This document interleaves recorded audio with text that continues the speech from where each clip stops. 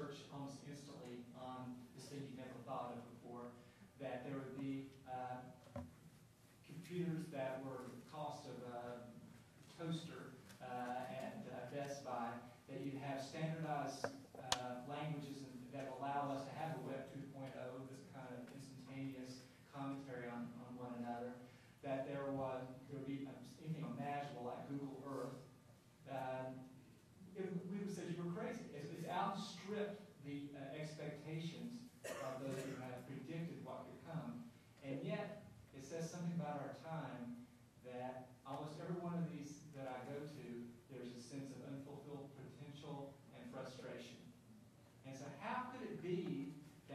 we have made, I dare say, so much progress uh, in a, such a short time, in the sense of bringing to bear on enduring problems of human knowledge, of things that have been around for millennia, and that we've now been able to see in a new way in the space of a decade.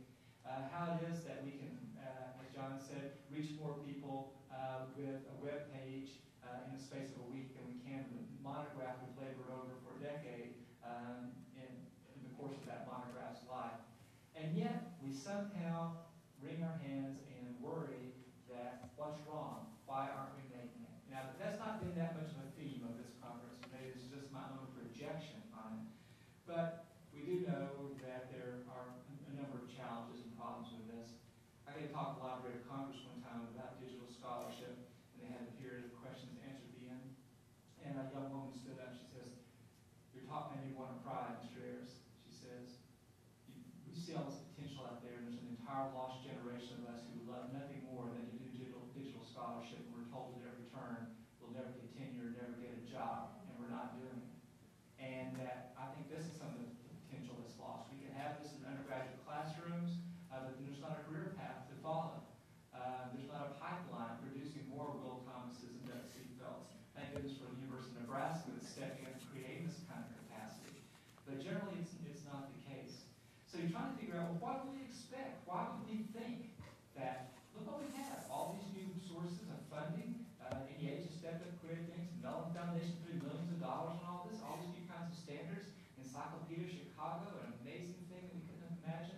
What do you expect? And I think the question that's hanging over us, we would for education, of us in the knowledge business, of us who are professional rememberers, for those of us who see ourselves as the vehicle of cultural transmission, to be falling so far behind every other form of um, knowledge transmittal in our society, to be falling so far behind uh, communication and entertainment, um, and seeing whole new forms of uh, entertainment involving millions of people, uh, and our scholarship is struggling to reinvent itself. So on one hand, it's, I'm I'm ending with the same theme that I introduced last night. How do we know where we are in the flow of time?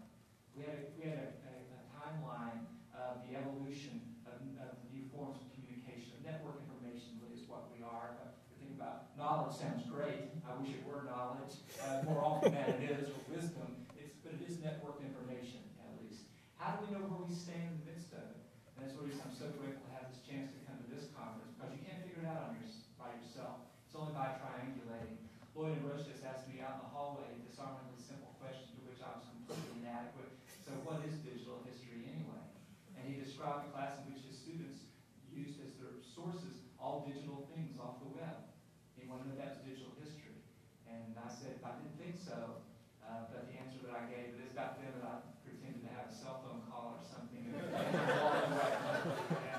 so I just like to throw, uh, uh, to throw out on the table uh, a question that other people feel this deep sense of uh, that we're doing is we're running as fast as we can, and yet somehow the ring is eluding us. And maybe the moment we're going to seize this ring is going to pass as all this knowledge becomes commoditized, locked away, purchased by somebody else.